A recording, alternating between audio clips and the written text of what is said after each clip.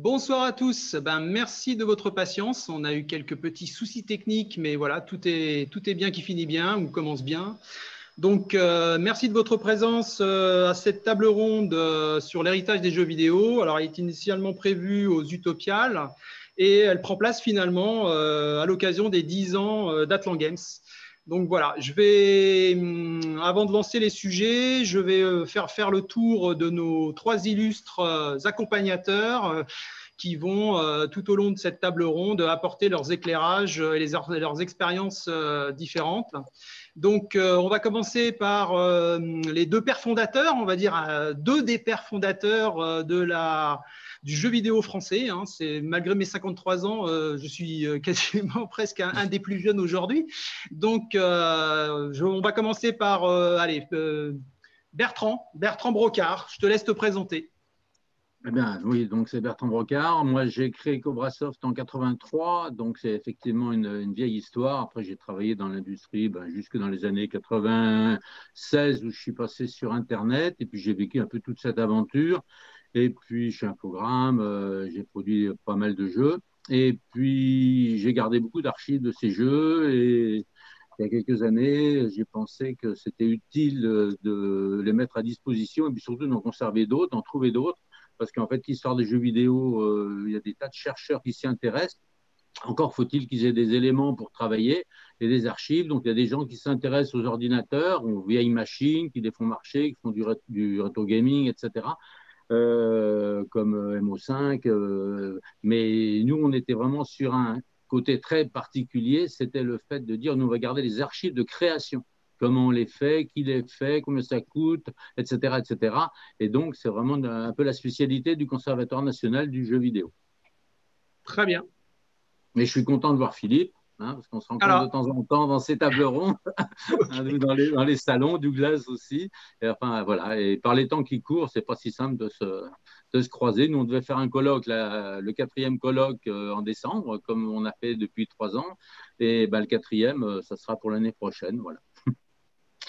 Merci Bertrand. Donc, tu as un petit peu défloré certains éléments. Donc, euh, maintenant, on va laisser euh, le tour à Philippe, euh, Philippe Ulrich, donc un des gourous de la création vidéoludique française, comme on l'appelait à l'époque. Donc, Philippe, vas-y, je te laisse te présenter.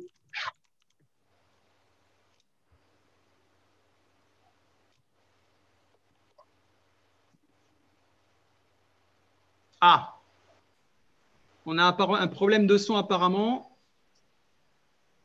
Je ne sais pas si Antoine, tu peux trouver euh, s'il y a un nouveau souci. En tout cas, moi, Philippe, je ne t'entends plus. Douglas, tu nous entends? Oui, oui, je, vous entends. Pas de problème. Alors, moi, ce que je propose, c'est qu'on passe à la présentation de Douglas et que, je ne sais pas, par chat, Antoine essaye de voir en direct avec Phil euh, si euh, on peut résoudre ce problème de son. Donc, ben, vas-y, Douglas, c'est ton tour, présente-toi. Ok. Donc, euh, alors moi, euh, au niveau professionnel, euh, on va dire que après avoir fait du jeu amateur, j'ai fait de la démo scène. après un projet avorté avec un gros éditeur français, j'ai fait de la presse. J'ai un peu navigué dans, voilà, dans, dans la presse pendant une quinzaine d'années. Puis après, après, je me suis intéressé vraiment à l'histoire et la culture du jeu vidéo, euh, j'ai aidé euh, l'association Emo5 à, se lancer euh, avec Philippe Dubois. De fil en aiguille, j'en suis arrivé à faire des conférences, à, écrire sur l'histoire du jeu vidéo. voilà, à faire un peu de consulting à droite, à gauche et aujourd'hui de donner des cours voilà, pour faire, pour faire cours dans, dans des écoles de jeux vidéo qui forment des futurs créateurs. Donc voilà. Et, je suis un fervent amateur d'histoire du jeu vidéo. Vraiment, je m'intéresse à la fois à la création, aux médias sous tous, ces aspects. Voilà, pour faire quoi. Ok, bah alors en attendant que, en espérant que Philippe retrouve le son, je vais me présenter rapidement. Donc euh, ce soir, je suis le modérateur. Je me rappelle Laurent Cluzel. Donc moi, j'ai 30 ans de jeux vidéo derrière moi. J'ai commencé fin des années 89, en 1989 exactement, donc chez Tiki Software. Et après, j'ai été voir un petit peu toutes les boîtes, euh, dont certaines ont disparu, bien sûr. Euh, donc, euh, j'ai travaillé jusqu'en 2018 sur un peu tous les supports. J'ai fait un peu tous les, les postes, si ce n'est, je n'ai pas fait de code et je n'ai pas fait de son. Mais tout le reste, voilà, j'ai créé des jeux, dont certains, comme par exemple Christophe Persia sur la Nintendo DS. Donc, j'ai eu la chance de travailler dessus à Casablanca pour Ubisoft. Et puis sinon, des sociétés plus euh, modeste, euh, comme Wizama très récemment, une société rennaise où j'ai été directeur de création euh, pendant quatre mois pour leur premier jeu, les trois premiers jeux qu'ils ont créés pour cette console, dont le Kickstarter s'est terminé d'ailleurs avec succès il y a un jour ou deux. Donc voilà, Philippe, est-ce que tu es parmi nous ou est-ce que je te présente finalement?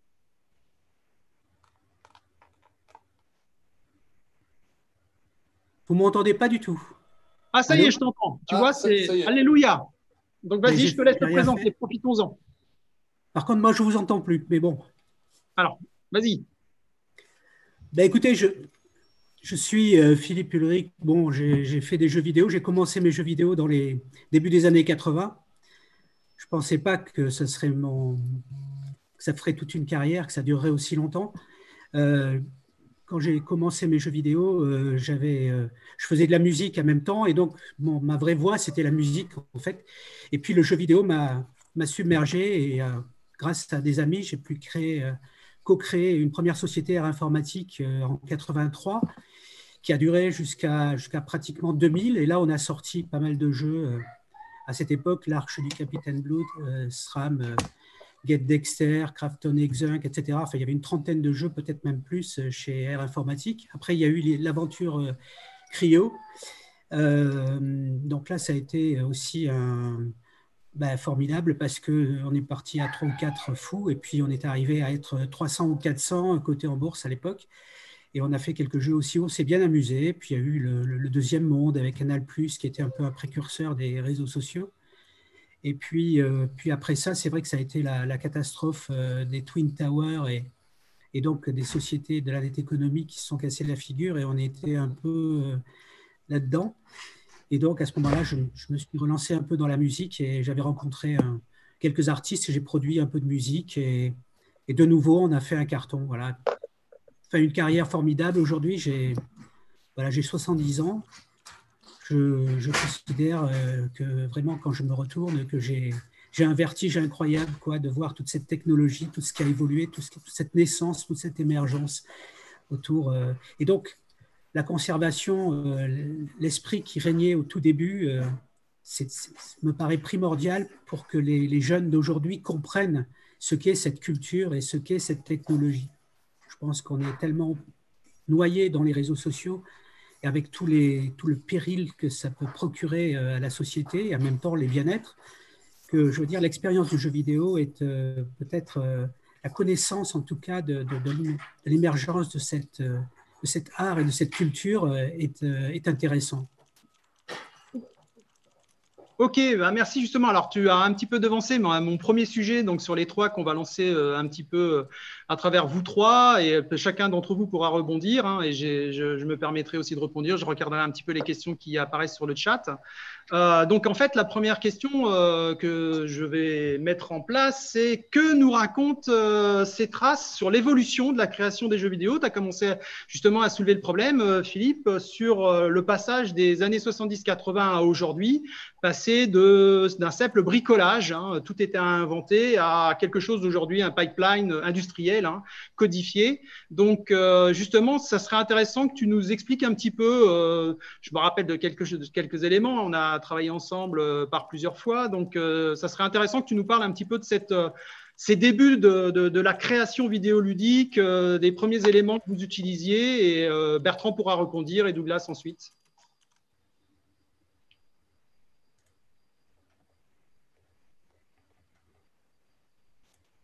Tu nous entends plus? Bah Alors, si. Je pas. Ah, alors, bah, en attendant que tu nous entendes, Bertrand, si tu veux rebondir sur justement, c'est qu'est-ce que nous racontent euh, ces traces justement bah, effectivement, il y a une évolution incroyable effectivement entre les années 80 et aujourd'hui. Euh, on n'était pas à 300 ou 400 personnes à travailler sur un, blockbuster, hein, c'est clair. Hein. Euh, on était un, après on était deux, après on était trois maximum, etc. Et ça a duré relativement longtemps. Ça a duré quasiment jusqu'aux années, jusqu'aux années 90 où on pouvait être des petites équipes en fait. Hein. effectivement, où il y avait toute une maîtrise du process parce qu'en fait c'était très très simple et des petites équipes euh, finalement assez réduites. Bon. Et donc on retrouve maintenant ces process d'ailleurs avec la créa indépendante puisqu'en fait les jeunes qui aujourd'hui euh, essayent de créer des produits de manière indé euh, dans les écoles, etc., ben, ils retrouvent un peu les mêmes techniques. En fait, finalement, ils sont très peu, ils se débrouillent à faire quelque chose où c'est euh, ben, finalement le gameplay qui est, le plus important. C'est pour ça que garder les traces du passé est intéressant parce que entre l'énorme technologie qu'on met en route aujourd'hui, il y a quelque chose qu'il faut jamais oublier, c'est le gameplay. Hein, comment est-ce qu'on joue et le temps qu'on passe devant la machine, l'interaction qui se fait avec le jeu. Et ça, on l'avait, on avait le même dans les années 80 où quelqu'un pouvait passer des heures et des heures et des jours et des semaines sur un jeu et pourtant le jeu en lui-même, il peut-être, il pesait 48 k alors qu'aujourd'hui, on va dire, si tu n'as pas 4 Tera, tu fais rien. Quoi. Donc, donc, il faut rester sur cette idée du gameplay. Et ça, c'est ce que les jeunes apprennent dans les écoles. Et l'avantage de regarder comment ça se faisait à l'époque, c'est intéressant parce que là, on est un peu à l'os. C'est-à-dire, en gros, on a peu de son, voire pas de son, peu d'images, peu de machin. Et on est obligé finalement de faire quelque chose de ludique. Donc ça, c'est extrêmement important. Et puis l'autre chose qui a beaucoup bougé entre maintenant et hier, c'est que hier, tout était en papier. C'est-à-dire qu'on n'avait pas de photocopieuse, on avait à peine des imprimantes. Donc, les traces de création, elles étaient essentiellement en papier. Et c'est ce que nous, on a beaucoup. Et c'est relativement simple parce que lire une feuille de papier, euh, ben, il suffit de savoir lire. Aujourd'hui, on retombe dans la même problématique pour les archives de créa, c'est que tout est numérique et que si on n'a plus le bon logiciel, euh, c'est comme pour les ressources techniques elles-mêmes. Voilà, si on a, si on sait pas lire les fichiers euh, des créateurs, euh, on est, coincé. évidemment, ça prend beaucoup moins de place. Là aujourd'hui, on a reçu deux cartons, deux gros cartons des archives de l'encore. bon, c'est deux gros cartons, c'est pas un DVD hein, ou une clé USB. Donc évidemment, ça prend beaucoup de place, mais l'avantage, c'est que c'est directement accessible. Voilà. Et ça, ça a beaucoup bougé maintenant. Alors, si Philippe veut dire quelque chose, c'est le moment. Philippe, tu, nous, entends Oui, oui, t'entends.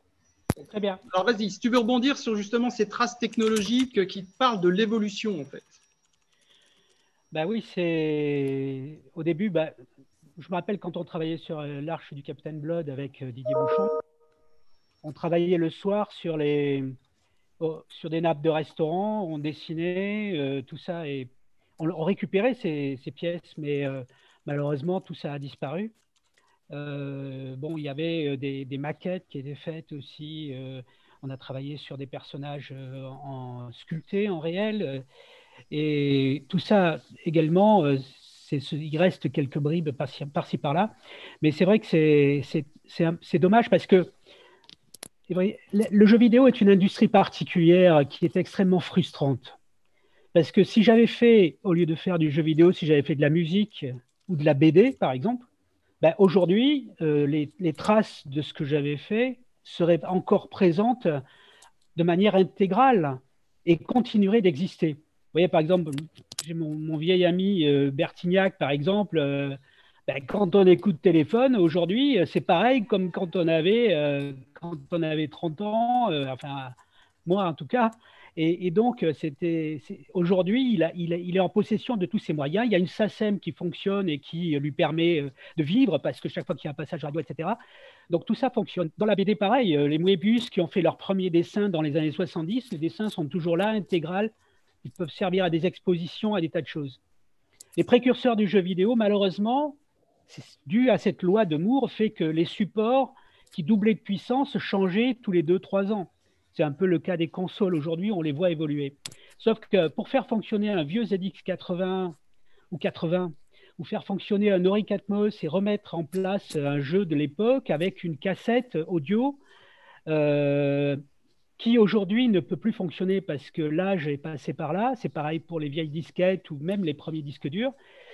malheureusement, tout ça fait qu'on plus les, on a, on a des émulateurs mais on a de moins en moins le moyen de faire exister les choses. Heureusement qu'il y a des associations comme MO5 ou comme ce que tu fais Bertrand, euh, parce que c'est vrai que sans ça, ben, il ne resterait plus rien du tout.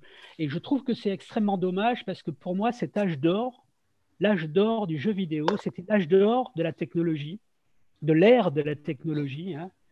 Je me rappelle euh, avec, euh, avec Stéphane Pic qui habitait Marseille et qui faisait de la musique pour, pour notre petite société informatique. On, on, voulait se transmettre avec un Spectrum, un Spectrum, un, Sinclair. Euh, on voulait se transmettre des fichiers, eh bien, on démontait le, principe du load et du save qui, avait, qui était intégré à l'ordinateur pour brancher directement l'écouteur du téléphone dessus. Et on arrivait à se transmettre des fichiers en faisant save avec l'audio de la sauvegarde. Et on transmettait des fichiers assez importants, des fichiers musicaux, graphiques, etc. à l'époque ça prenait un quart d'heure et des fois ça marchait pas. Il suffisait qu'il y ait une petite, euh, un petit grain de silence pour que ça, perturbe le transfert et donc on, recommençait. Ben, à cette époque-là, on était quand même euh, dans les années 80. Il n'y avait pas de modem, pratiquement pas, et, il n'y avait pas de, en fait, on n'avait aucune transmission et on était déjà en train d'inventer des choses comme ça. Et, donc c'est formidable. Tout ce qui s'est passé. C'est vrai que c'est quelque chose qu'il faudrait sauvegarder. Et c'est vrai que bon, j'ai un grand tort, c'est que je ne prends pas ma plume pour écrire cette histoire que j'ai vécue, au moins mon témoignage. Et j'aimerais bien le faire parce que c'est vrai que sans ça, euh, ben vraiment, euh, euh, c'est une perte culturelle, je dirais. Ok, bah écoute, effectivement, là, tu t'attaches, t'attaques à un autre point. Euh, on reviendra un petit peu plus sur les problèmes des supports, sur la conservation. Donc, je vais euh, donner la parole à, Douglas. C'est-à-dire qu'il y a tout le matériau euh, intellectuel humain, c'est-à-dire ces expériences humaines dont on peut-être on trouve encore quelques traces, mais qui sont à mon avis beaucoup trop légères, c'est-à-dire les interviews qui pouvait y avoir dans les, dans, les, dans les journaux et dont tu as fait partie d'ailleurs, Douglas. Euh, est-ce que tu peux nous en parler euh, justement pour voir euh, est-ce que ce matériau intellectuel a, laissé des traces, qu'on va dire, significatives au-delà d'enregistrer ou d'écrire, comme le dit Philippe? Moi, je pense que le principal problème, au-delà de, de, la technique, c'est le fait que le média jeu vidéo n'a pas été pris au sérieux. Jusqu'à assez récemment, euh, on a des éditeurs quand même comme Square Enix qui n'avaient pas sauvegardé leur, leur, gros hit comme Final Fantasy et qui se retrouvent aujourd'hui bien embêtés pour faire des remakes de, ces jeux-là. Donc déjà, il y a un problème de préservation dans l'industrie du jeu vidéo en général qui fait qu'on ne comprend pas qu'on a un patrimoine, qu'on a un, art euh, et que euh, bah, ça, on a quelques en tant que, que société et éditeur, éditrice de jeux vidéo, effectivement, il y a une responsabilité de, euh, pour soi-même, mais aussi pour la culture et l'avenir, les, euh, les, prochaines générations, de garder en fait euh, notre travail. Et, et, moi, je sais que parmi les éditeurs, les, les éditeurs de, journaux, voilà, de, de, la presse de jeux vidéo, moi, j'ai vu des archives entières de, de journaux sur CD partir à la poubelle. C'est-à-dire qu'on a, on, on a pour eux, ce n'était pas important. C'était euh, du divertissement, c'était quelque chose de, futile. Voilà, et, euh, et c'est vrai que ça fait mal au cœur en fait de voir euh, des archives détruites. Euh, ils ne comprenaient pas. En fait, le, le, jeu vidéo était tellement dans une course technologique qu'on se disait, bah, ce qui est vieux, en fait, bah, ça n'a pas d'importance puisqu'on va faire mieux.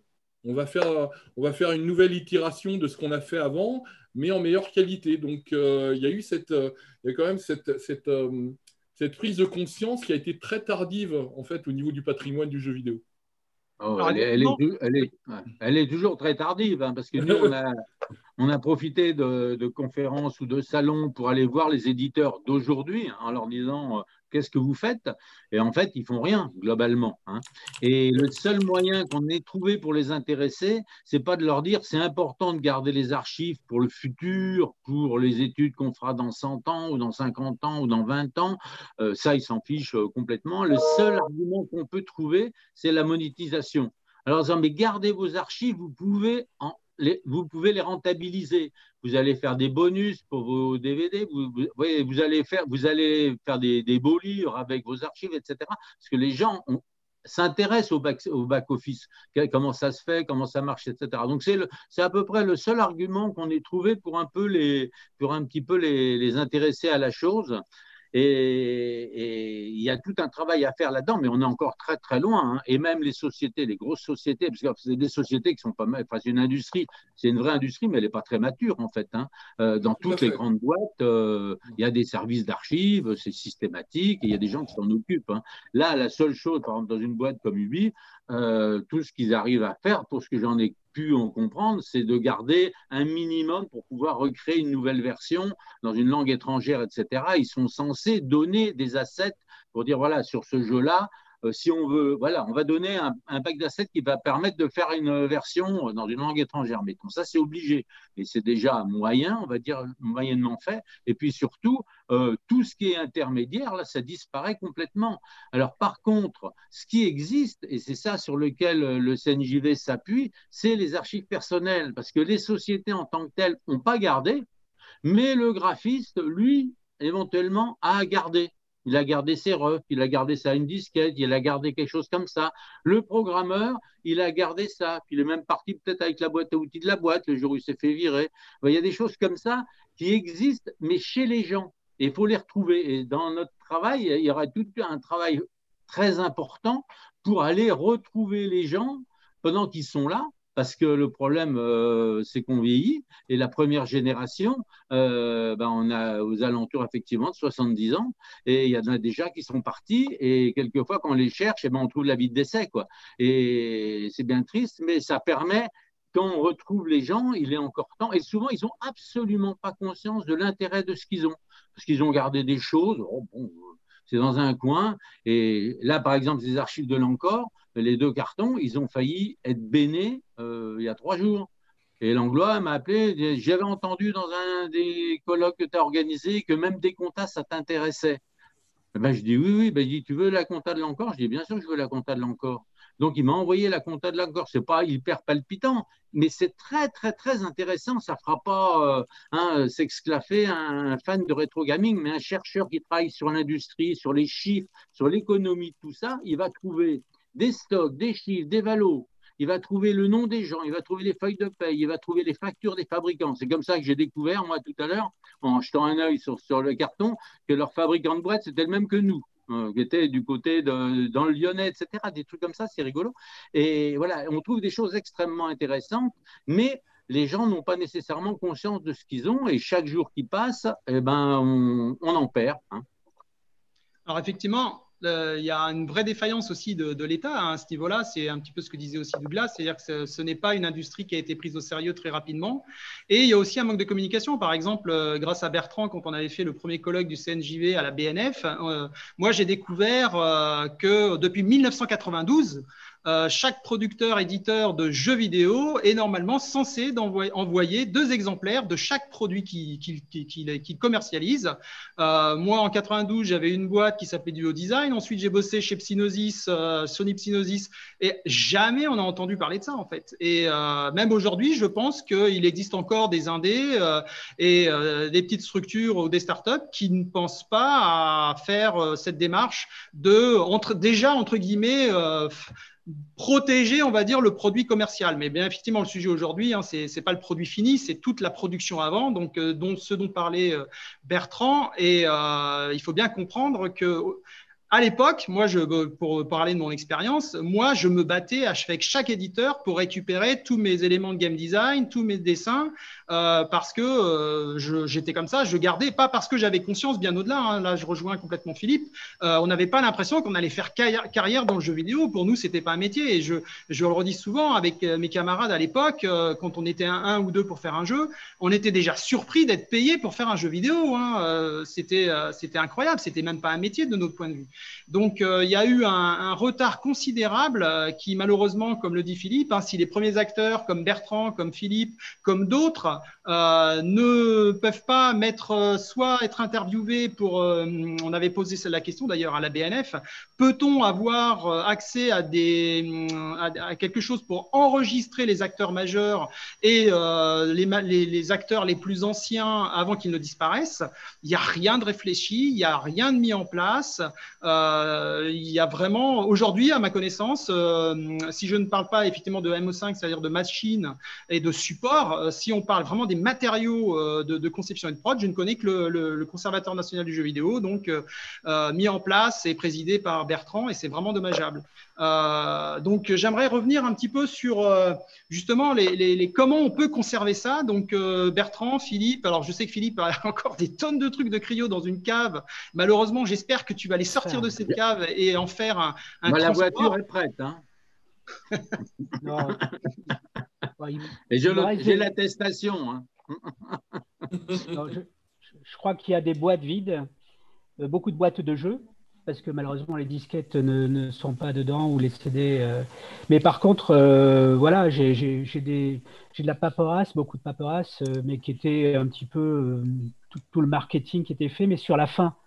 Euh, pour tout ce qui est du début, de tout début, avec Emmanuel Viau, on est faudrait qu'on se concerte. Peut-être que lui, il a encore quelque chose, mais il est, il est au Canada, il est à Montréal, c'est pas pratique trop de se voir.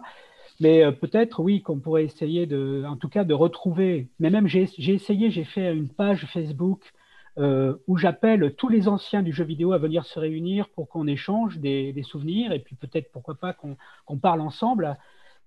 Donc, j'ai appelé Johan Robson, Michel Roux, enfin toutes les équipes d'air informatique, je n'ai pas une réponse. Alors, je me dis, soit ils ne m'aiment pas, ce qui m'attriste énormément, soit, ils n'ont pas eu le message, ou soit je ne sais pas. Alors, c'est vrai c'est l'occasion peut-être de lancer quelque chose de personnel pour, leur dire, ben, venez sur Facebook, vous, allez voir, il y a une page spéciale qui, porte mon nom à moi, mais parce que c'était mon, mon, compte. Mais euh, voilà, ça pourrait s'appeler n'importe comment, peu importe. Mais en tout cas, c'était juste pour que les anciens d'air informatique se manifestent les auteurs de SRAM, je, pense. Bon, je reste en contact avec, euh, avec quelques-uns quand même. Euh, mais, c'est vrai qu'il y en a beaucoup qui, qui, qui, qui, euh, qui, pourraient témoigner de plein de choses intéressantes parce que l'aventure était complètement folle. C'était complètement barjot, c'était complètement barré cette époque. Vraiment, c'était génial on n'avait pas de fric, on n'avait rien, mais on arrivait quand même à faire bouger les choses, quitte à sacrifier les ordinateurs à coups de hache, à distribuer les morceaux à la presse en délire, à faire des messes devant des extraterrestres, à faire dans des parkings souterrains à cause des courants telluriques qui pouvaient venir, il va important des lunettes noires qui étaient très importantes, et avec les cheveux colorés en vert. Enfin, on faisait des trucs qui étaient quand même sympas, quoi. Le côté rock'n'roll, on va dire, de, de Philippe, on l'a perdu par contre, je ne t'entends plus. Oui, ah. tu m'entends ah, Oui. Oui, non, le côté, bah, le côté comme ça, euh, il y avait, y avait le côté happening, quoi. On regardait ce qui se passait dans la musique. C'est vrai qu'on voyait Jimi Hendrix brûler sa guitare, on voyait euh, il y avait des tas de trucs comme ça. On se disait, bah ouais, non, mais c'est ça la culture, c'est ça le monde, le monde dans lequel on vit. Il faut vraiment euh, choquer les esprits et puis faire en sorte que de tout ça émergent euh, des nouveaux atomes créatifs, etc., pour, euh, pour, pour, pour, pour avancer. Et puis on avait un coup de pied au. Parce qu'en fait, ce qui, nous, ce qui était passionnant, c'est hors sujet, hein, mais ce qui était passionnant, c'est qu'on avait, un, on avait un grand coup de pied au cul tous les ans à cause de la loi de Moore parce qu'il fallait changer de machine et aller sur un truc plus puissant et inventer quelque chose de nouveau. Et ça, c'est génial. C'est terminé. Ok, merci Camden Blood. Alors non mais euh, voilà, plus sérieusement, c'est vrai qu'il y a moi Oui, pardon. Non, je, je disais, euh, je pense qu'il y a beaucoup d'auteurs de l'époque qui euh, parfois ont quitté le jeu vidéo, qui se rendent pas compte en fait de l'influence qu'ils ont eue et comment ils ont inspiré en fait des gens pour se lancer dans le jeu vidéo quelques années après. Donc euh, ça, il faudrait peut-être leur dire aussi, leur, dire que ça a été très important, euh, qu'ils aient été là pour que les générations d'après puissent euh, faire du jeu vidéo. Je rebondis sur ça. C'est un problème de moyens quand même globalement, parce que le, fait de, trouver les gens, de les rechercher, de les recontacter, nous on a organisé, indépendamment des colloques, des, des réunions en région. On va en région, à Lyon, à Bordeaux, etc pour faire des réunions sur place, à Nantes en l'occurrence. Hein. Euh, donc, mais, donc, il faut y aller, il faut aller les chercher un petit peu avec les, avec les dents globalement. Mais ça, ça nécessite beaucoup d'énergie, ça nécessite du temps, ça nécessite de l'argent, et c'est en ça que l'État est défaillant, parce que sans tendre la main spécialement, il y a une évidence qu'il faudrait qu'il y ait des moyens, que ce soit pour les musées, que ce soit pour, euh, pour ce travail de conservation, qu'on puisse avoir autre chose que euh, les bénévoles qui veulent bien euh, passer leur week-end, etc. Et donc, il y, a, y, a, un vrai problème de ce côté-là. Et puis, on est, nous, ça fait cinq ans qu'on existe, enfin, ça fera cinq ans l'année prochaine. Bon, MO5, ça fait 15 ans, je ne sais plus combien, je crois qu'ils ont fêté leurs 15 ans. Hein. Euh, oui, oui, un peu plus, un peu plus que ça. Mais... En gros, c'est rien. On nous balade d'un ministère à l'autre, et puis c'est bien, oh, c'est bien ce que vous faites, et puis euh, continuez comme ça, les petits gars. Il euh, n'y a pas le CNC, il n'y a, pas l'équivalent du CNC pour le, jeu vidéo. Oui, et ça, ça fait des années. Moi, je me suis battu pendant des années. Bon, maintenant, j'ai arrêté parce que je, voilà, je suis. Mais pendant des années, j'ai milité, on a milité, on a travaillé pour essayer d'avoir un lieu, quelque chose pour pouvoir euh, développer euh, justement un, lieu d'échange pour euh, l'industrie du jeu vidéo. On a le CNC, par exemple, le Centre national du cinéma, on a, on a tout un tas d'organismes qui ont des hôtels particuliers dans Paris et qui occupent ces hôtels et ont des systèmes d'élection, etc., des membres un petit peu de la communauté, de l'industrie culturelle pour euh, entretenir entretenir le feu et puis euh, travailler justement sur toutes ces problématiques de la conservation, de l'avenir, etc. De la condition aussi des, des, artistes du jeu vidéo. Moi, j'entends parler par là de problèmes à droite, à gauche, de ceci, de cela. Personnellement, je ne vais pas me plaindre parce que bon, j'estime que j'ai quand même fait des choses intéressantes dans ma vie. Mais bon, j'ai une retraite de, moins de 2000 euros et j'ai rien d'autre. Hein. Euh, j'ai jamais et donc je vis avec euh, très très peu d'argent et, je me, et cache et je ne veux plus apparaître dans le jeu vidéo. Là, je suis venu avec vous parce que, mais j'évite de voir tous les gens du jeu vidéo parce que franchement, cette industrie, elle, n'a aucun, respect, aucun respect. Et, c'est dommage, mais ce n'est pas l'industrie qui n'a pas de respect, c'est le système, c'est le mécanisme dans lequel on est entré. Moi, je me suis battu toute ma vie pour que les auteurs soient reconnus. On m'a répondu, c'est une œuvre collective, il n'y a pas d'auteur. Et, je me suis battu jusqu'au bout pour que les auteurs soient reconnus. J'ai essayé d'aller faire des, conférences, j'ai essayé d'aller faire de l'enseignement. J'ai jamais touché un centime pour ça, mais je l'ai fait. Et, j'étais heureux. On m'a remis quand même, si, on m'a remis une médaille de, chevalier des arts et lettres. Bon, ça me fait une belle jambe, euh, sauf que franchement, euh, euh, ça ne fait pas avancer le public. Quoi. Et je m'aperçois que les autres auteurs, ben, ils, sont, ils, sont, ils sont éparpillés, on ne sait pas. Et c'est très dommage parce que la musique a su créer la SACEM. Quand je vois toutes les industries culturelles, elles sont représentées et l'État les aide. Et ça, le fait, le fait que nous soyons, euh, que, nous n'existions pas, faut dire aussi qu'on a beaucoup paradé en disant que le jeu vidéo était plus, euh, faisait plus de chiffre d'affaires que le cinéma. Enfin, il y a eu énormément de, communication un peu où on se gonflait un petit peu. Et puis, je dois dire aussi que le marketing l'a emporté complètement sur la création. C'est-à-dire qu'aujourd'hui, le jeu vidéo, ça n'est plus que du marketing, à mon avis. C'est-à-dire que mais effectivement, en fait, je pense que. Oui.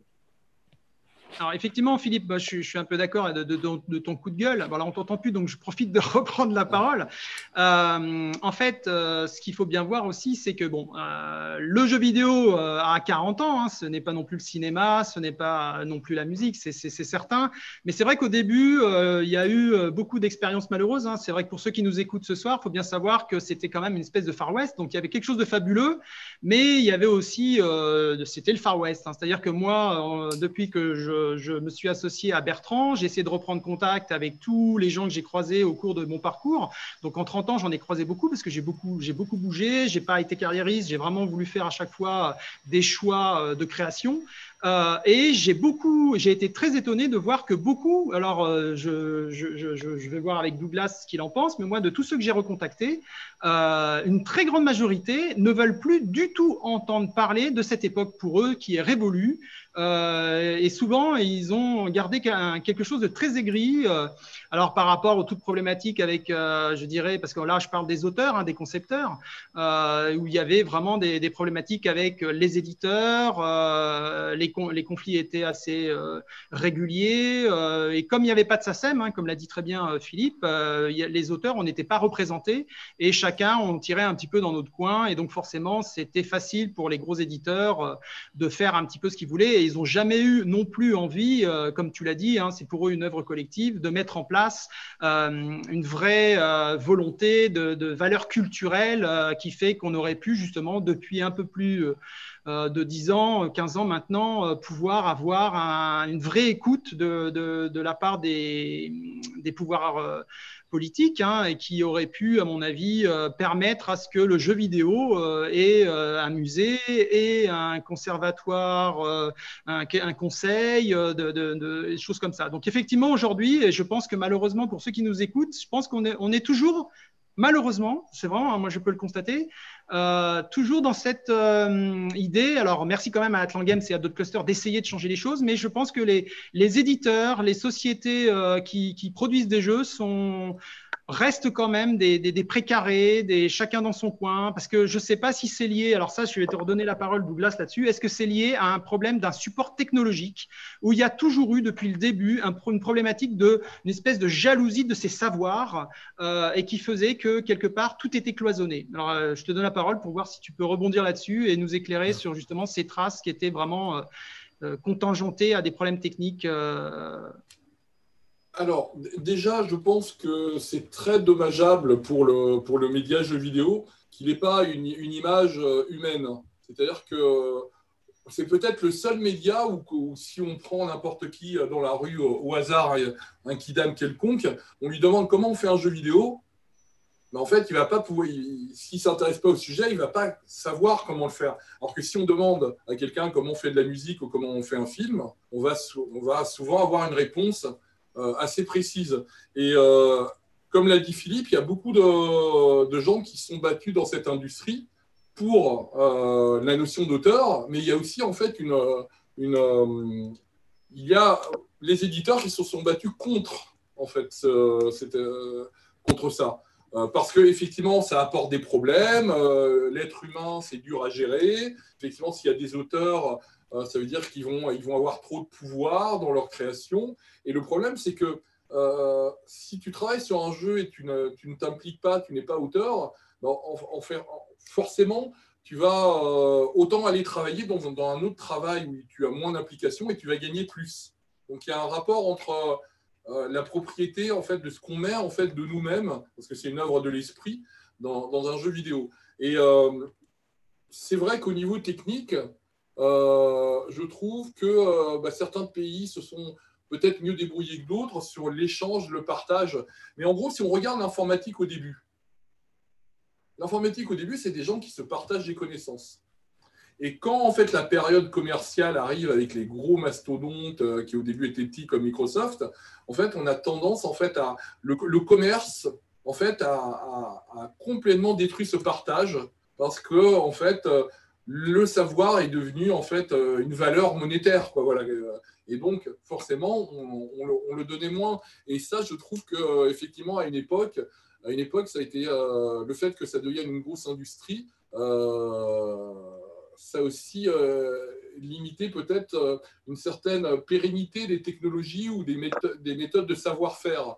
Par exemple, on voit qu'aujourd'hui, aujourd'hui, il y a des techniques qui ont été oubliées Heureusement, il y a des personnes, euh, bah, je peux citer par exemple Christophe Balistra chez Naughty Dog, qui a ressorti des vieilles techniques de, de, loading sur Amiga qui avaient été complètement oubliées par toute l'industrie du jeu vidéo et qu'ils ont euh, utilisé sur, euh, par, exemple, Uncharted 3. Et tout le monde disait, mais c'est génial cette méthode de loading, du track loading qui vient de l'Amiga. Mais en fait, c'est super vieux. Ça n'a pas été inventé avec la PS3. Et ça, c'est un très bon exemple en fait du savoir en fait, qu'on avait à une certaine époque et qui a été complètement perdu parce que justement non documenté, euh, pas de partage, euh, une, certaine euh, opacité en fait dans ce domaine. oui, donc c'est vrai que c'est intéressant en fait aujourd'hui de documenter tout ça. C'est même vital pour qu'on comprenne l'évolution des technologies du jeu vidéo. Alors justement, là, euh, comme on approche un petit peu de la fin de l'heure, euh, ce serait bien que vous puissiez poser des questions dans le chat justement sur cette problématique de et vous, si vous êtes effectivement auteur, éditeur, producteur, faites partie d'une équipe, vous créez des jeux, Qu'est-ce que vous faites en fait justement? Est-ce que vous avez une, une, prise de conscience par rapport à cette table ronde? Et est-ce que vous allez changer votre façon de voir les choses? Est-ce que vous avez euh, déjà euh, conscience de, participer à quelque chose, à un patrimoine historique hein? C'est-à-dire qu'effectivement, comme le dit souvent euh, Bertrand, dans 50 ans, dans 100 ans, il y aura des gens qui, qui, qui, qui écriront des bouquins, qui réfléchiront à comment c'était au début, un petit peu comme sur le cinéma, c'est exactement pareil. Mais aujourd'hui, ça serait bien que tout le monde se réveille, pas que quelques petits vieux comme nous hein, dans notre coin, euh, parce qu'il y a beaucoup de vieux, ben, soit qui sont déjà morts, hein, comme Dominique Sablon, hein, j'y repense toujours, mais c'était un des premiers graphistes français qui avait vraiment euh, euh, la, French Touch. Quoi. Il, est, décédé aujourd'hui, donc il ne faut pas oublier que tout ça, c'est en train de disparaître. Mais vous, qu'est-ce que vous allez faire? Donc, je vois, ça fait déjà dix ans pour nous. Donc, alors, euh, BD Le Sage, tu nous dis, on n'a pratiquement aucune archive. Ah, voilà, donc euh, on y pense. Voilà, mais alors justement, on y pense. Et j'espère que ce soir, cette table ronde aura fait euh, prendre conscience à beaucoup d'entre vous qu'il ne faut pas seulement y penser et qu'il ne faut pas uniquement attendre. alors, de l'État, comme disait Bertrand, ça fait des années qu'on n'attend plus rien de l'État, qui compte sur le bénévolat, hein, entre guillemets. Euh, donc, euh, mais par, malheureusement, euh, on n'est pas éternel et on n'est pas assez nombreux, donc il faut que tout le monde s'y mette. Et déjà, à commencer par vos propres productions. Donc voilà, il faut prendre le réflexe, ouais, c'est vrai. Comme tu précises. Alors, nous, on n'avait pas, à l'époque, on était dans le jus, hein, comme le dit un petit peu. Philippe, je vais redonner la, parole à Bertrand par rapport à ça. Il faut prendre le réflexe. Donc, qu'est-ce que tu peux, dire, Bertrand, par rapport à ça? Bah, ce que je voulais dire par rapport à ça, c'est que par rapport à ce qu'on peut garder quand on développe actuellement, il n'y a pas simplement euh, des éléments techniques, des éléments graphiques, des choses comme ça qui doivent être organisées, ça c'est clair. Il y a aussi d'autres choses euh, qui peuvent être intéressantes. C'est d'enregistrer des brainstorming, c'est des choses comme ça. Là, par exemple, nous, on a des cassettes des cassettes audio, hein, toutes bêtes, hein, sur lesquelles on retrouve des brainstorming qui datent de 84 où, par exemple, on nous entend discuter de comment on va faire pour ouvrir le coffre-fort, sachant qu'on a un clavier numérique, on n'a pas de clavier numérique, on n'a pas de souris, qu'on n'a pas de tout, etc. Donc, on entend une discussion entre le programmeur, euh, le créateur et le graphiste qui est là pour savoir comment on va pouvoir faire comprendre aux joueurs. Bon, c'est ce que je veux dire par là, c'est que s'enregistrer des brainstorming, faire ce travail justement de, réflexion autour de la création du jeu, c'est intéressant. Hein. Ce n'est pas simplement les, éléments techniques, ça peut être aussi bien ces éléments d'accompagnement. Et ça, pour le coup, ça peut être rentabilisé. Le gars qui fait un, euh, un financement participatif, euh, qui veut mettre des bonus, il aura des éléments à montrer aux gens. Donc ça, c'est intéressant de, ce côté-là. Et ensuite, ça donnera effectivement des éléments de mémoire. Alors, on ne va pas attendre 50 ans pour faire des bouquins. Hein. Il y en a plein qui sortent. Hein. Euh, c'est comme ça d'ailleurs que ça a commencé, le CNJV. Hein. C'est qu'il y a des gens qui sont venus faire des thèses en venant chercher dans mes archives, etc. En disant, on trouve que ça actuellement, parce que contrairement aux autres boîtes, chez Cobrasoft, on avait gardé beaucoup de choses pour des raisons presque euh, matérielles. Euh, il a presque jamais déménagé, la société a presque jamais déménagé. Donc il se trouve que les cartons sont restés, moi j'en gardais évidemment, mais en plus je n'ai pas déménagé, j'aurais déménagé, ça serait peut-être euh, parti ailleurs. Et puis il y a ces éléments donc qui servent actuellement pour faire des thèses, pour faire des livres, il en sort déjà pas mal, mais il n'y a pas de mystère, il faut avoir des éléments, il faut avoir des documents, et euh, bah, ces documents, il faut bien les trouver quelque part, hein, et c'est un peu l'intérêt d'une structure comme la nôtre.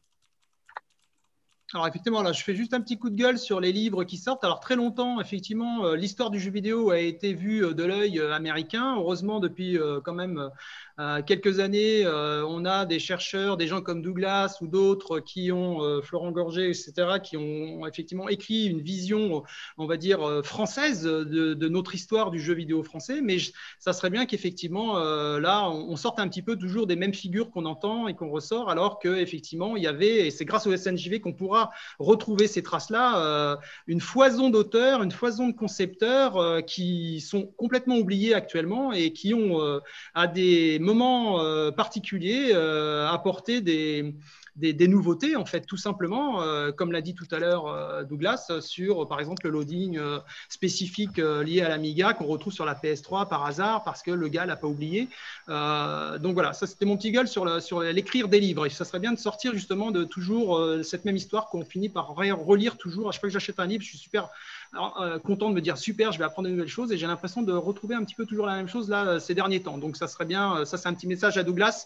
essaye de voir si tu peux aller chercher justement des témoignages et ça nous permettrait justement, parce que moi je compte vraiment sur les journalistes à ce niveau-là et les chercheurs, comme le disait Bertrand, pour aller chercher des infos. Et c'est quand on écrit des articles, c'est quand on fait de la presse qu'on garde des traces aussi euh, euh, qui seront euh, utilisables et qu'on pourra relire, etc. Est-ce que vous avez d'autres questions? Ça serait, Là, il nous reste à peu près 10 minutes. Hein, c'est la page de pub. Moi, je ne touche rien, hein, mais ils ont beaucoup travaillé avec nos archives au départ. Hein. C'est l'histoire du jeu vidéo en France qui a été fait là, par Blanchet et Guillaume Montagnon. c'est vraiment un, un, bouquin assez intéressant, justement, qui traite le sujet, pas simplement à travers les consoles, mais vraiment depuis les origines des jeux. Hein, euh, dans les années 70, même en France, euh, alors ce n'était pas des jeux vidéo au sens propre, si on peut dire, enfin, c'était des jeux quand même, hein, mais ils sont vraiment allés très très loin dans les, dans les recherches et c'était un truc qui, qui, vient de sortir donc récemment et qui est, qui est très intéressant. Ah, très bien ce, ce, livre, à lire absolument. Voilà. Alors, il est très bien pour les gens qui n'ont pas vécu l'histoire, mais moi, pour l'avoir vécu, et je pense que Philippe, s'il a, lu le livre, il verrait qu'il manque des choses et qu'il y a aussi quelques Ah, mais il y, il y, a un deuxième volume qui est prévu. D'accord, ok. J'attends avec impatience. Donc, euh, je ne connaissais pas. Je, connaissais pas. Je suis désolé, mais je vais, je des choses d'essayer de le trouver. Et par rapport à ce que disait Philippe en disant oui, sur, euh, sur l'informatique, ce que j'ai, c'est des trucs finalement assez de la fin, en fait, relativement récents finalement, euh, parce que c'est la fin. Alors effectivement, il y a souvent moins de choses sur les années 80, mais actuellement, quand on parle des années 95, c'est il y a 35 ans, hein. il y a 25 ans. Donc 25 ans, euh, pour les jeunes d'aujourd'hui, c'est un siècle. Hein. donc. Euh, vraiment, déjà 95, c'est déjà très très vieux. Hein. donc, euh, c'est aussi intéressant justement d'avoir des, des, choses de, de cette période-là, même si nous, euh, ça nous paraît presque récent. Alors, une question qui vient d'arriver. Donc, pour ce qui est de la conservation du patrimoine, que pensez-vous du dépôt légal? Alors, tu entends du dépôt légal au niveau du concept, de l'intention, du dépôt légal, de, tu veux dire, de la pièce qui a été produite et qui va être commercialisée? Donc, en tout cas, tel que je l'entends, moi j'ai l'impression que tu me parles du dépôt légal, donc euh, euh, du dépôt légal. Oui, de, la BNF, donc euh, je pense. Dépôt légal, c'est celui de la BNF. Avec quel intérêt, en fait, c'est d'avoir le produit, effectivement. Hein. La, la, problématique de la BNF, c'est effectivement c'est que tout le monde ne fait pas le dépôt légal. Et après, bah, on a une boîte, une notice, un produit à l'intérieur qu'on peut faire fonctionner ou qu'on ne peut pas faire fonctionner. Mais c'est relativement. Bah, en même temps, c'est un minimum. Mais c'est vrai que les boîtes ne le, le, connaissent pas. Hein et, le peu qu'elles connaissent, parce que la BNF essaye quand même de promouvoir le dépôt légal quand ils participent à la Paris Games Week ou des choses comme ça. C'est un peu dans cette idée-là pour se faire connaître des éditeurs en disant attention, il y a le dépôt légal, etc. Mais par exemple, nulle part c'est écrit dans le dépôt légal que l'envoi est gratuit. Moi, j'ai des boîtes à qui j'ai dit est-ce que vous faites, on avait rajouté ça dans l'enquête qu'on avait fait avec les sociétés d'aujourd'hui, euh, est-ce que vous faites le dépôt légal? Les mecs nous regardaient, on se mais c'est quoi cette question sur le dépôt légal? On dit bah voilà, c'est le dépôt légal, la BNF. Ah oui, d'accord, ok. Oh, mais je ne vais pas m'emmerder, je ne vais pas encore payer pour faire ceci, cela. Alors le dépôt légal, vous l'envoyez, il n'y a même pas besoin de mettre de timbre. Mais ça, il y a toute une, pédagogie qui n'est pas faite. Mais là aussi, le service audiovisuel de la BNF pour tout ce qui concerne l'audiovisuel, c'est pas 250 personnes, hein, c'est tout petit le service audiovisuel de la BNF et eux, ils s'occupent pas simplement d'Internet, enfin, de, la, enfin de, des jeux vidéo et du multimédia, ils s'occupent de tout ce qui est audiovisuel. Donc évidemment, les moyens sont pas à la, hauteur des besoins. Bah, effectivement, alors en plus, on s'est rendu compte à la BNF que les produits euh, n'étaient pas conservés euh, de façon euh, logique, c'est-à-dire qu'ils étaient conservés comme des livres. Alors vous imaginez tous les supports magnétiques ça sert à rien en fait. C'est pas les mêmes problématiques. Donc c'est voilà, le dépôt légal c'est bien, mais va déjà, je pense que si on regarde les cassettes, certains CD, etc., ils seront même plus euh, lisibles euh, d'une manière ou d'une autre. Euh, il y a une autre question qui est aussi intéressante, qui va aussi un petit peu dans le prolongement de ça, c'est-à-dire qu'effectivement, par rapport à ça, Comment déposer des gaz et autres jeux difficiles à conserver, inclure le serveur? Alors effectivement, avec tout ce qui est des maths en plus aujourd'hui, il y a la, problématique du, du, produit final. Mais ça, je suis d'accord avec ça. Mais nous, notre sujet aujourd'hui, c'est avant les produits finaux, avant les produits commerciaux. C'est justement les traces de la production. C'était ça le, sujet, donc j'essaie de recentrer un petit peu. Donc, mais c'est une vraie question. Hein. C'est pour plus tard, on n'aura même plus les traces des jeux. Moi, j'ai fait un jeu sur iPhone il y a en 2010. depuis que je suis plus développeur Apple, ben, mon jeu a été retiré de, la plateforme et donc du coup, ben, j'en ai plus aucune trace. Plus juste mes graphes dans un coin et le codeur, il a un bout de code dans son coin et voilà, et c'est terminé. On n'a pas pensé à, ça. Donc maintenant, ça va être généralisé. Ça, c'est un autre problème. Ça, c'est la conservation des, des, produits finaux. Mais là, nous, on est, on est en amont, on est sur la, les traces de la production la production de ces produits finaux. C'est-à-dire tout ce que disait euh, Bertrand tout à l'heure, c'est les éléments de fabrication, les dessins, les textes, euh, les, des maquettes aussi. je, là, c'est vrai qu'il n'y a pas beaucoup contrats de travail. Là, on parlait là, des programmeurs des, métiers. en matière de traces, nous, par exemple, on n'a pas. C'est l'intérêt des contrats, justement. Là, j'en ai trouvé chez l'encore. Hein. Il y a les contrats de travail. Il y a aussi les contrats de enfin, les feuilles de licenciement, parce que c'était une, hein, c'était, c'était pas un fleuve, c'était pas un long fleuve tranquille non plus. Hein. Mais ça, c'est aussi intéressant. Combien est-ce qu'on payait un programmeur? Combien, quel était son contrat de travail? Ouais, Tous ces aspects-là, c'est des aspects qui sont extrêmement intéressants, sur lesquels on peut travailler. alors, quand même, pour situer par rapport à ceux qui nous regardent et qui disent Oh là là, mais les années 80, qu'est-ce qu'ils nous racontent, etc. Imaginez quand même qu'on faisait des jeux qui tournaient dans des machines qui avaient 48K. 48K. Dans leur tête, ils disent 48 mégas. Non, non, 48K. 48K, euh, là, par exemple, j'ai un listing. C'est le listing complet d'un jeu édité. Hein, il fait 30 euh, pages. Tout est là en basique. Hein, c'est plein de vide. Hein. Et avec ça, vous avez des gens qui passaient des jours et des jours et des jours à jouer, à s'exciter, à trouver ça génial. Donc, euh, mettons-nous ça bien dans, le, bien dans la tête. Le, le, processeur, il est dans la tête. Les images, on se les forme dans la tête. Hein. Euh, ce qu'on voit sur l'écran, c'est bien pour celui qui regarde à côté, par-dessus votre épaule, qui vous regarde jouer. Ah, c'est génial, ou qui est devant sa télé, qui regarde un tournoi. Ça, c'est bien pour celui qui regarde. Mais celui qui joue, il n'a pas besoin de tout ça. Ça se passe dans sa tête à lui. Tu voulais réagir, Philippe? Mon premier Othello, il, faisait 4K, celui qui a été commercialisé ah avec le, le ZX 80. Mais euh, moi, je voudrais lancer un appel euh, un, peu différent à toutes les équipes de développement et tout ça, pensez brevet. Cette industrie n'a jamais déposé de brevet. Alors que Microsoft, à l'époque, déposait un brevet, chaque fois qu'il faisait un clic de souris, il déposait le système d'interface, etc.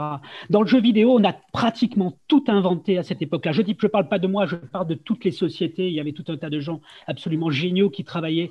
Et il n'y a aucun brevet qui a été déposé. Résultat, ben, il n'y a pas de GAFA en Europe, il n'y a pas de GAFA ici. Euh, par contre, aux États-Unis, ils savaient déposer. Et le brevet, ben, c'est comme, le, blockchain, quoi. Hein. on, met, met euh, l'invention, l'idée qu'on a, on la, on, la, on la conserve et on la dépose, ce qui fait que si quelqu'un la reprend, ben, il y a des droits, il y, y, a des, avocats, il y a de la justice, il y a tout un tas de choses qui se mettent en place et donc, on, peut comme ça euh, avoir une sorte, de patrimoine technologique. Et aujourd'hui, malheureusement, le jeu vidéo, ben, le patrimoine technologique, ben, il, a été pillé par tout le monde. Moi, quand je vois les icônes, les machins, les, les, toutes les systèmes d'icônes euh, aujourd'hui euh, qui sont déposés, qui sont des brevets, qui sont des choses qu'on ne peut pas utiliser n'importe comment, etc., bah, je rappelle que nous, dans Captain Blood, on avait un langage fait d'icônes. Et donc, bon, on n'a pas eu l'intelligence, on n'a pas déposé. Donc, faites des dépôts. Si vous avez des idées, essayez de vous renseigner pour faire des petits dépôts, mais déposez vos idées. Faites en sorte que, quelque part, ben, vous ayez un patrimoine. Et si vous avez une petite start-up ou une petite société de jeux vidéo, si vous avez des brevets, vous valorisez votre société parce que le jour où on vous rachètera, on regardera vos brevets. Ça, c'est une expérience que j'ai eue. Et puis, euh, créer aussi des marques, c'est-à-dire créer des, des, des, des, univers, parce que c'est ça aussi qui crée de la valeur. Et, tous ces univers, évidemment, il, faut puiser dans le passé, mais il faut aussi imaginer. Et, donc, tout ça, il faut le conserver, il faut que vous le gardiez, donc quelque part, euh, avec de manière à ce que vous en bénéficiez. Regardez, si Star Wars existe aujourd'hui, c'est parce que tout a été archi déposé, que les personnages, le moins de coup de crayon, étaient conservés, n'est-ce pas? Et donc aujourd'hui, ça fait un univers incroyable qui vaut des milliards et que Disney a racheté. Bon, c'est euh, donc vous n'êtes pas plus con que les autres, vous êtes aussi créatif. Et en France, il y a énormément de créatifs et de gens qui ont des idées. Mais il faut à tout prix, il faudrait qu'on s'en occupe, quoi. Il faudrait effectivement vous épauler, etc. Moi, je suis trop vieux, je peux plus. Alors effectivement, donc, ça, réagit quand même pour vous donner une idée de ce qu'on faisait à l'époque, ça, par exemple, ce listing, là, c'est du listing en basique, hein, c'est vraiment du, basique. Euh, il est déposé à la Société des gens de lettres, comme un manuscrit. C'est comme ça qu'on faisait. On avait cherché quand même, hein. on s'était un peu quand même posé la question, on était déjà confronté au piratage, etc. Hein. Donc, par exemple, les listings, on les déposait comme un manuscrit, comme un roman, quoi. Évidemment, il n'est pas très épais, c'est plus lors de la nouvelle, on va dire, sans se poser la question de ce, qui était écrit, en fait. Hein, voilà une. Voilà. Mais on a arrêté au bout d'un moment. est-ce que ça sert bien à quelque chose? Est-ce que je rejoins l'idée de, Philippe? C'est qu'on est, on est, ou de Laurent plutôt, on était dans la rapidité. On a fait un produit, on l'a vendu, on passe à autre chose, on en fait un nouveau, etc. On n'était pas du tout dans l'idée de, d'en faire un patrimoine ou de, vivre dessus. À l'époque, ça allait tellement vite.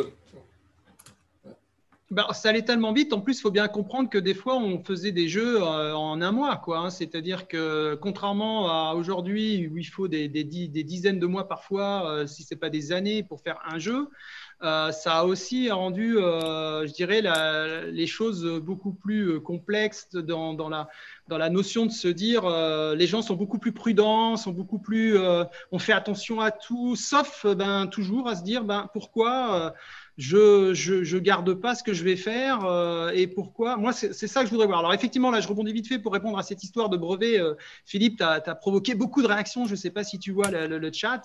alors, je ne le vois pas. Alors voilà, bon, bah, c'est la, la, la, problématique de, de, l'open source et de choses comme ça. Et après, moi, je dirais que euh, bah, c'est génial que, le, que le jeu vidéo soit, soit libre, etc. Et puis, euh, on, rebondit parce qu'il y en a un qui fait remarquer tout à, juste titre que si les choses étaient un peu abusées au niveau des brevets, après, on ne peut pas implémenter certains, certains éléments euh, dans, dans certains jeux. Bon, après, voilà. C'est vrai qu'à notre époque, nous, c'était différent. C'est-à-dire que, en fait, chaque jeu n'avait rien à voir avec le voisin. Aujourd'hui, il y a une espèce d'uniformisation et on est sur surtout sur euh, la façon dont, on va faire un, gameplay différent. Nous, c'était euh, tout était à faire à chaque fois. Hein. Les caméras étaient inventées, euh, l'interface était inventée. C'était, il y avait, faudrait regarder un petit peu ce qui sortait sur Commodore 64 et ZX Spectrum notamment, avant même l'Amiga et l'Atari. Et vous seriez surpris pour ceux qui n'ont jamais eu le temps ou l'occasion ou l'intérêt d'aller voir ça, parce que c'est vraiment un jeu un style de jeu, quoi. Un jeu, tout était nouveau. Euh, donc maintenant, bon, les brevets, voilà, je, là-dessus, je n'ai pas d'avis particulier, mais c'est vrai que voilà, le, jeu vidéo est la première industrie open source. Et euh, à savoir si c'est bien ou c'est pas bien, euh, je sais pas. Mais pour revenir à, à, la problématique donc de cette table ronde, c'est vraiment les traces laissées par la production d'un jeu vidéo. Donc avant le, tout ce qui est avant un produit commercial, hein, c'est tout ce qui est avant, c'est il faut que ça soit sauvegardé, il faut que vous preniez conscience que ce que vous faites aujourd'hui euh, est important pour dans 50 ans. Euh, comme nous, on n'en a pas pris conscience. Aujourd'hui, il faut que vous en preniez conscience. Alors, quelqu'un avait dit plus haut, dans le chat, là, je peux pas remonter, mais qui disait que c'était déjà très complexe de faire euh, une prod, etc. Si en plus on doit prendre en compte cette histoire de, faire attention à ce qu'on sauve, etc. Euh, je, suis bien d'accord avec ça, mais le, fait d'archiver déjà les, concepts, les, trucs d'intention, etc. C'est pas mal de, de, de et de, faire quelque chose pour ne serait-ce que l'envoyer au CNJV. Après, on m'a souvent dit dans les, petits colloques qu'on a fait avec Bertrand. Euh, le problème, c'est que moi, j'ai pas envie euh, d'envoyer au CNJV parce que justement, là, on parlait de, vous parliez de brevet, mais c'est justement, j'ai des, j'ai une idée qui est géniale ou j'ai une idée qu'on a, j'ai pas envie qu'on me pique, etc. Bah, dans ces cas-là, elles peuvent être sous le sceau de la, de la confidentialité jusqu'à la sortie du, produit. Il n'y a pas de souci. Mais l'idée, c'est vraiment essayer de commencer à réfléchir euh, comment vous pouvez vous organiser. Alors, je suis d'accord, hein, c'est du temps, ça peut être de l'argent aussi. Euh, et vu comment c'est déjà compliqué pour des petites structures euh, d'arriver à exister, euh, le, challenge est grand pour, pour vous. mais il faut vraiment réfléchir à ça. Il faut vraiment que vous arriviez à, à trouver un moyen pour garder tout ce qui est euh, déjà en phase de conception. Quoi. En phase de conception, il y a forcément des refs, des crobards, des, des, des, des, fichiers texte, des choses comme ça. Et il faut que quelque part, elles soient archivées euh, dans un lieu commun. Euh, vu que la BNF n'a ni les moyens, ni les gens, comme le disait Bertrand, de le faire, faites-le en attendant au CNJV pour, pour récupérer déjà une partie des, productions actuelles. Et, ben, et nous, les vieux, on va essayer de s'atteler à essayer de retrouver les productions anciennes. Est-ce que vous avez d'autres questions Il y a aussi quelque chose. Ah, ah, je précise un truc, c'est que dans, là, c'est la plaquette du CNJV, le premier mot que dans les, dans les missions, hein, c'est identifier. C'est-à-dire qu'on n'est pas nécessairement en mode de donnez-nous vos archives, où on les veut, ou etc. Euh, déjà, savoir qu'elles existent simplement. Quelquefois, les gens nous disent oui, ben là, maintenant vous me dites que c'est intéressant, moi je vais le garder parce que c'est moi qui l'ai fait, etc. Pas de problème. Ils peuvent le garder. Ce qui est important déjà, c'est qu'on sache que ça existe et éventuellement après d'avoir une copie. Mais même si les gens veulent le garder, il n'y a aucun souci du moment qu'on sait que ça existe et qu'est-ce que c'est, de façon à pouvoir orienter un chercheur en lui disant oui, bah tiens, là, euh, on l'a pas, mais euh, tu peux t'adresser à tel endroit, etc. Lui, il a, il quelque chose euh, qu'il a gardé par, de, son côté et très bien. Voilà, donc identifier, c'est déjà très, très important en soi, savoir que ça existe. Ok, donc est-ce qu'il y a d'autres profiter de, poser d'autres questions donc sur cette notion de, de patrimoine, de traces, euh, de sauvegarde. Euh, alors, les closing kits, ça fait un bon matériau de départ pour ces traces. Oui, par exemple. Bah, de toute façon, tout est bon. Voilà. Bah, vas-y, alors je laisse rebondir Douglas là-dessus. Vas-y. Non, mais je, disais, euh, je disais, c'est la même idée de ce que tu. c'est qu'en fait, vraiment, c'est vrai que dans les studios, on ne peut pas avoir quelqu'un dédié à cette tâche. On est souvent déjà en manque de, main-d'œuvre et de temps et de moyens. Euh, ce qu'il faut, c'est essayer de penser à la fois euh, à l'utilité en fait de, la sauvegarde dans la production, c'est-à-dire au moment où on produit le jeu, effectivement, d'essayer de, ne pas se dire ah, bah, ça je jette parce que ça sert à rien, de le, garder de, côté. Et, euh, le versionning, hein, qui pour le programmeur est super important aujourd'hui, bah, il faut essayer de le, faire pour tous les corps de métier, essayer d'en garder un maximum, en tout cas les étapes principales euh, pour documenter euh, la production du jeu.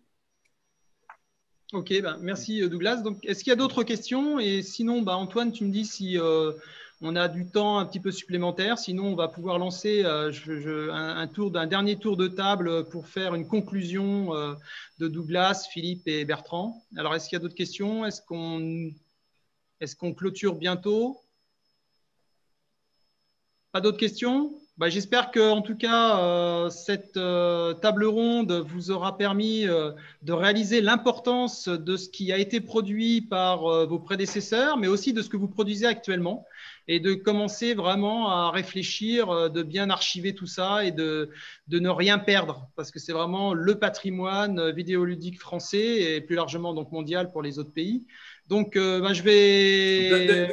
Oui, pardon. D'ailleurs, si vous êtes intéressé de voir, euh, euh, de voir l'œuvre en fait, de, quelqu'un qui a, qui a, beaucoup sauvegardé euh, sa production. On peut prendre par exemple l'exemple de Jordan Mechner, qui vient de republier actuellement un livre sur, sur la création de Prince of Persia, où il y a vraiment en fait un, un livre que je vous conseille franchement, où, où il décrit en fait la production du jeu, d'où viennent ses idées, comment il a, réalisé, comment il a conceptualisé tout Prince of Persia. En fait, limite, il faudrait un, livre comme ça pour tous les jeux, au minimum les jeux importants de, l'histoire du jeu vidéo. Et, euh, et je pense qu'on peut, avec un livre comme ça, se rendre compte de l'importance euh, que ça a. Tout à fait. Et on voit aussi après, ça permet de mettre en situation, là tu parles de Prince of Persia, qu'on peut relier du coup à Another World, par exemple, d'Eric Chahi. Et on voit que le rotoscoping a fait son chemin et que les gens sont influencés les uns par les autres et qu'on a Tout à fait. Voilà, ça c'est vraiment intéressant. Tout à fait. Euh, en fait, tout, le monde est lié, tout le monde est lié, tout le monde regardait ce que les autres faisaient. Euh, tout le monde euh, faisait une hybridation des idées. Il y avait une itération permanente en fait dans le jeu vidéo. C'était, on, on en a parlé, c'était très rapide parce que la technologie changeait tous les trois mois. C'était euh, incroyable. Et, euh, et, les idées, en fait, c'était très. Euh, très organique, très, très fertile au niveau des idées à l'époque. Comme tu disais tout à l'heure, on était moins dans un formatage par genre. On, faisait beaucoup d'hybridation, en fait. Et, donc, il y a une il y, a une culture particulière au début du jeu vidéo qui est euh, qu'il faut, qu'il faut, savoir préserver et représenter euh, pour les générations futures. Parce que je pense que les futurs créateurs ils pourront trouver énormément d'idées en se reconnectant en fait à, au premier jeu vidéo et à voir que bah, certains auteurs avaient une vision mais complètement différente de ce qu'on pouvait avoir actuellement de l'ergonomie ou du gameplay ou de la narration. Euh, voilà, moi j'ai vu des choses hallucinantes avec des, des gens qui disaient oui, la, vraie narration de jeux vidéo, ça commence par exemple avec Final Fantasy 8 ou 7. Euh, J'en dis, mais arrêtez, arrêtez. Il y avait énormément de jeux avec des narrations extraordinaires et des idées extraordinaires avant. Il faut, il faut juste fouiller. C'est vrai, vrai que c'est pas évident. Et je vous encourage, justement, là je rebondis sur, ton, sur ce que tu dis, je vous encourage à aller voir toute la production de Cobra Soft, notamment tout ce qui était autour des meurtres quelque chose, meurtres à Venise, meurtres à grande vitesse, meurtres dans l'espace, parce que c'était des, des, projets, comme l'a dit euh, Bertrand, sur 48 kilos, euh, vous aviez une vraie enquête policière et les gens passaient des jours dessus. Et en plus, là, je ne sais pas si tu as quelque chose sous la main, Bertrand, c'était tous les, les, les, les, à côté, c'est-à-dire qu'il y avait aussi une production de petits objets que vous trouviez dans la boîte, il y avait une interaction, et, et c'est ça, c'est au milieu des années 80, je ne sais pas si vous vous en rendez compte. Bah, la différence, nous, c'est qu'effectivement, on ne regardait pas trop ce que faisaient les autres. On faisait vraiment notre idée. Euh, donc, ça nous a permis de faire des choses originales, justement, avec, et de remplacer ce qui n'était pas possible de mettre dans la machine, enfin, dans les images, etc., par des objets réels, et même des interactions dans le monde réel. Hein. parce qu'effectivement, on avait des lieux réels euh, qui existaient à Paris, on avait des services militaires, on avait des choses comme ça, on avait des tas de trucs. Même les gens pouvaient se mettre dans le logiciel remplacer le point enfin, le, médaillon du, de l'enquêteur par leur tête à eux. Bah, évidemment, il fallait le numériser quasiment à la main. Donc, on leur donnait un petit logiciel qui faisait quelques kilos pour pouvoir passer en, crayonnant en noir et blanc les, pixels hein, pour pouvoir se mettre dans le jeu. Mais, ah bon, il y avait déjà ça dans les années, des univers réels dans lesquels on peut naviguer de façon libre. On théorise maintenant, mais c'est ce qu'on faisait nous dans, dans, ces meurtres en fait. on était entièrement libre, on faisait ce qu'on voulait. Après, il fallait réussir à trouver un fil pour que les gens ne se perdent pas. Mais c'était déjà des univers complets et basés sur la réalité. Bon, il y a des tas de choses comme ça, effectivement, qui, existaient. il y a d'autres jeux qui se faisaient aussi, justement, sur une techno. Alors nous, ce n'est pas trop notre cas, nous, mais par exemple, chez Infogrames, plusieurs fois, c'est des gens, des programmeurs qui créent une manip et une fois quand, la manip était découverte, on a dit, ils arrivent à faire de la 3D temps réel euh, sur un vieux PC, machin, pas rapide du tout. Bon, ça a fait le Ninja Dark. Parce qu'en en fait, euh, c'est parti de la techno. Un jour, euh, Bonnel a vu un jeu, a vu une voiture qui courait sur un circuit dans un bureau entre midi et deux. Ça, c'était des programmeurs qui étaient en train de, de, faire une manip, mais pour eux. Et c'est devenu un rallye vers rallye parce qu'en fait, ah, bah oui, ça va bien comme manip. Ça. Bon, du coup, on va en faire un jeu. Mais au départ, ce n'était pas une demande d'infogramme. C'était des programmeurs qui s'excitaient, qui trouvaient une démo, une manip et, qui pouvait devenir un jeu qu'on habillait finalement avec une techno, etc. Donc il y a 50 000 euh, possibilités. Enfin, ah c'était extrêmement varié, quoi. On, peut même, euh, en, en, fait, en, en, faisant un bug, avoir une idée de jeu. C'est formidable. C'est une erreur de manipulation et hop, un éclair de, voilà, de créatif qui passe et dit, c'est que ce bug, on peut créer un nouveau gameplay. Euh, c'est un peu le principe de l'invention souvent. Hein, donc, euh, truc à louper, on dit oh, c'est pas mal. Hein. voilà, mais justement, ce qui est intéressant, c'est que nous, on a le produit. Là, vous nous racontez ce qui s'est passé parce que vous l'avez vécu, mais c'est des choses qui vont se perdre si elles ne sont pas euh, conservées quelque part. Donc, c'est ce que, dont je parlais au niveau de la troisième question, de, le troisième sujet, c'était les matériaux intellectuels, l'expérience qu'on a vécue, les échanges qu'on a eus, tout ça, ça va être perdu et c'est vraiment dommage. Donc, mm. euh, je pense, sauf si Antoine me dit qu'on peut continuer, alors on pourrait continuer des heures hein, avec un Philippe Ulrich, un Bertrand Brocard, un Douglas Alves. Euh, ouais, j'en doute pas. voilà, donc euh, est-ce que tu veux qu'on fasse un dernier tour Eh ben, ouais, je, voulais, je vous laisse conclure rapidement, mais malheureusement, je suis désolé, j'aide Atlan Games là-dessus, mais je n'ai pas fini ma journée de travail et je vais repartir après. Il n'y a pas de souci. Donc on va faire, on va faire euh, un, dernier, euh, un dernier tour de, table donc sur cette, euh, sur cette table ronde sur les traces laissées par la production du jeu vidéo. Donc ben Bertrand et ensuite Philippe et, et Douglas. bah, je, vais être très court parce que je pourrais être très très long en fait. Hein, parce que j'avais quelques documents que j'aurais pu vous montrer extra, vraiment, mais ça sera une autre fois en fait. Hein. souvent quand je vais dans les colloques, j'amène une valise avec des exemples d'objets, de, de, choses comme ça, ou de documents. C'est toujours un peu spectaculaire. Euh, non, ben, venez sur le site du CNJV, c'est www.cnjv.fr. Et puis, euh, ben, voilà, comme ça, s'il y a des choses qui vous intéressent, vous nous contactez, on en parle. Euh. et puis, si vous avez envie de nous rejoindre, il n'y a pas de problème. Si vous avez envie de nous soutenir financièrement, il y a encore moins de problèmes. Hein, en attendant que, que, l'État fasse sa part, on va, on va faire la nôtre. Hein, voilà. Donc, ben, merci d'avance. Et puis, euh, je vous dis www.cnjv.fr, ce sera le plus simple. Puis on se reverra peut-être à l'occasion d'un colloque ou, d'une intervention euh, dans une école, euh, comme, comme on le fait régulièrement. Merci Bertrand. Alors, ne pas confondre, hein, c'est CNJV Conservatoire et non pas SNJV Syndicat. OK Maintenant, Philippe.